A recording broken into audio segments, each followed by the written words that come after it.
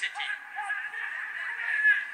ومحاولة إضافة هدف ثاني وبالفعل هدف ثاني. هدف ثاني غريب. بيول يسجل هدف ثاني لمصلحة المان سيتي ويتقدم في نتيجة المباراة. هناك خلل واضح في دفاع المنتخب الإماراتي الأبيض الصغير. عليه أن يركز لاحظ هنا انطلاقة بيول من دون أي رقابة.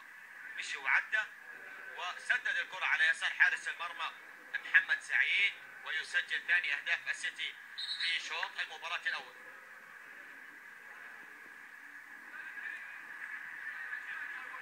خطأ دفاعي واضح.